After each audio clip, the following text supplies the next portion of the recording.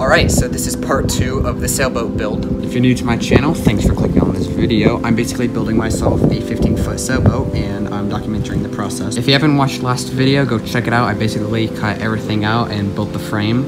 And in this video, I'm working on supports made out of this 1x4 for each panel, mostly for the ribs and the transom. But I'll be doing that today and I will start the assembly process, so I'll actually start building the boat on the frame and actually start to look like a, a boat. To start off, I need to cut out all the corners on every single bulkhead. Then, some wooden strips will be used for support running through these corners. You'll understand this a little better in the next few episodes.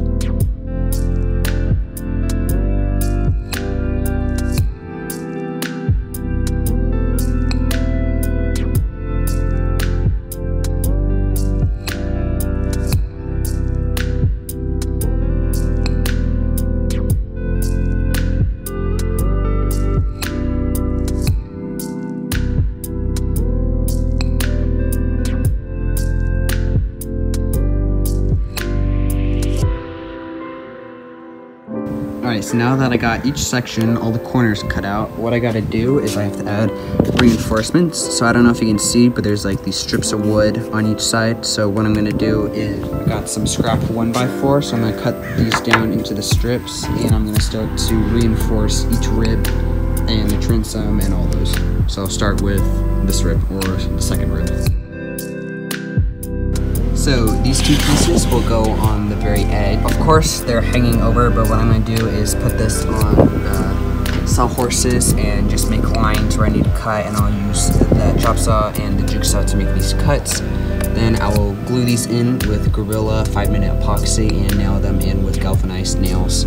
And then I'll continue with the rest of the border and with the strip straight down the middle to support the mast. Alright, so this is what the piece looks like, and I'm just going to get rid of this excess material. I'm going to do the same for that piece. Then, I don't want to bore you guys, so I'm basically making 8 or 12 of these, but they basically just go in each corner of all of these. But I'll just, I'll do a time-lapse for all these, and I'll just explain uh, how I'm assembling and reinforcing this, this rib.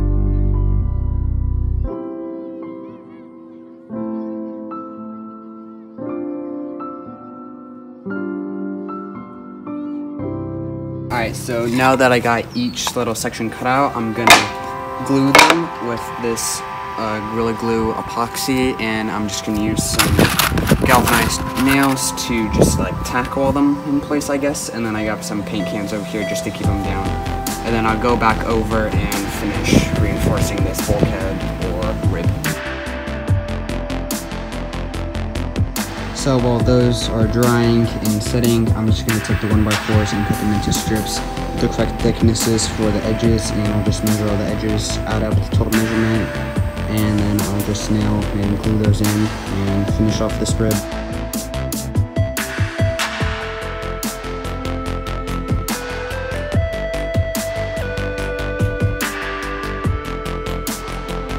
So I got all the reinforced edge pieces cut out and I'm just going to attach them. And I really want to bore you guys with another time lapse because I already done a lot. So in the next scene, everything will just be attached and assembled and this piece will be almost done. I'm just going to add that centerpiece that goes right here. Alright, so I got this metal support and I'm just going to attach it. I'm just going to make some strips that hold in the floor pins. So I'll use these. Alright, so this bulkhead or rib is finished. Now all I gotta do is do the same for the transom and the other rib. Now I'm working on the largest bulkhead which took the most amount of time, but in the end I think it turned out pretty good.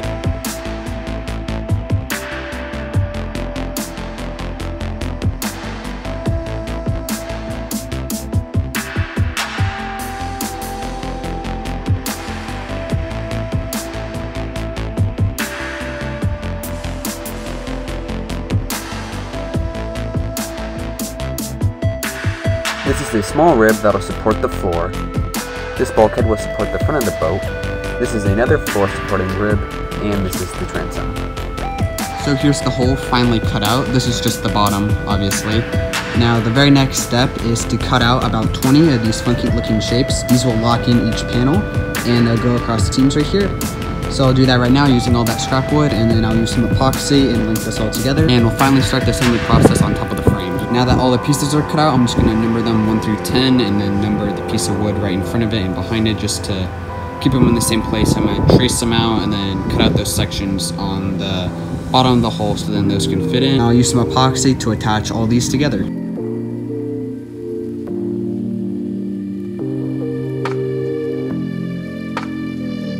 So with more tracing, always comes more cutting. So now I gotta cut out these sections right here so this can slip in and connect these two sections.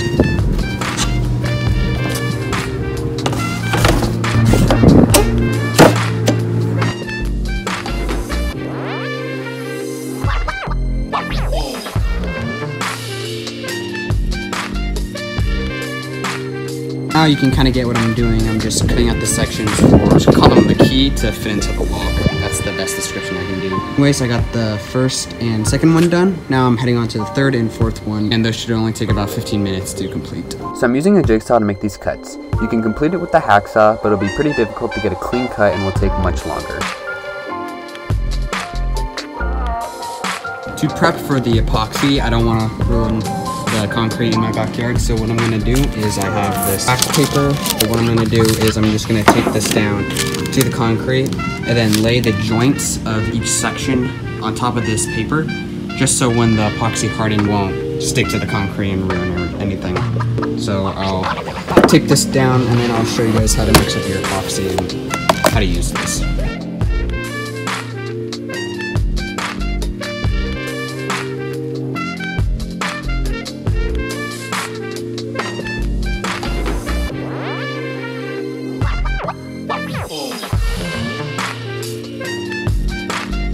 As you can see, I'm just coating the interior of the key with epoxy as well as the interior of the area that it's going to fit into. Once in place, I just fill all the gaps with more epoxy.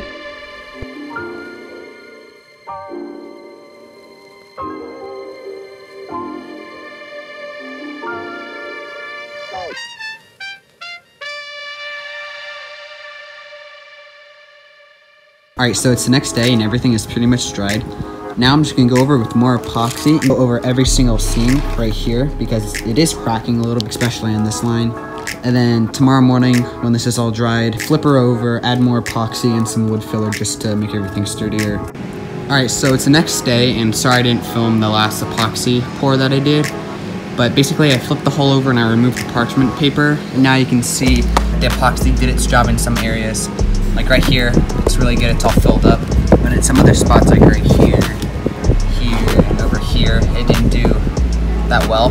What I'm gonna do is take a belt sander and just sand every joint right here in preparation for the wood filler, which is like that Play-Doh looking stuff. And so what I'll do is I'll cover everything with that wood filler, flip it back over and pour more epoxy on it because that wood filler should fill up everything and the epoxy just should fill in the other gaps when I flip it over. And then when I'm done with that, I'm gonna move it on to the frame. So I'm not too worried about removing all the parchment of the paper. This is all going to be hidden in the storage area of the sailboat.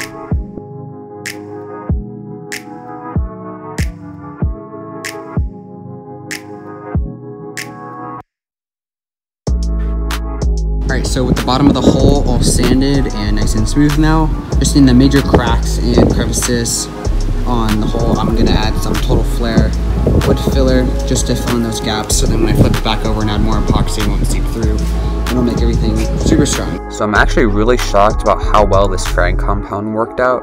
It's essentially a ladder consistency of Play-Doh, and when mixed properly, it turns into a very hard plastic.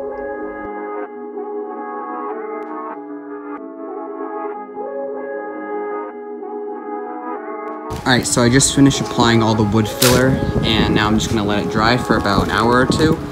Then when this is all dry, I'll sand it down, flip her back over and add more epoxy to finish her off and then I'll add her to the stand.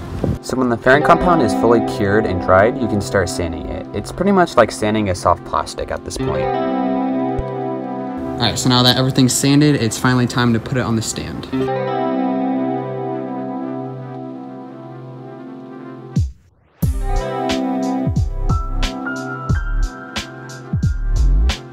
Now that the bottom of the hull is on the frame, I'm just gonna give it a light sanding and add more epoxy. So I'll do that right now.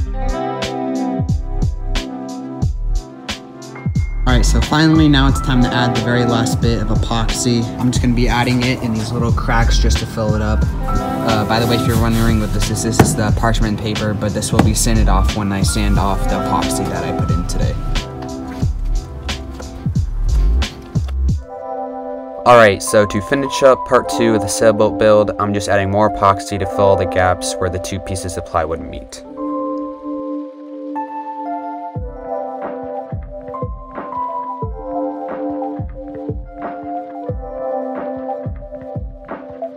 Alright, so this is the end to part 2 for the sailboat build. I'm so sorry it's taken me this long to post this video, but hopefully the next few videos will be posted pretty shortly. If you uh, haven't noticed, I'm in the sailboat right now, so I am filming this three months after the original filming date. But anyways, with that, thank you guys for watching.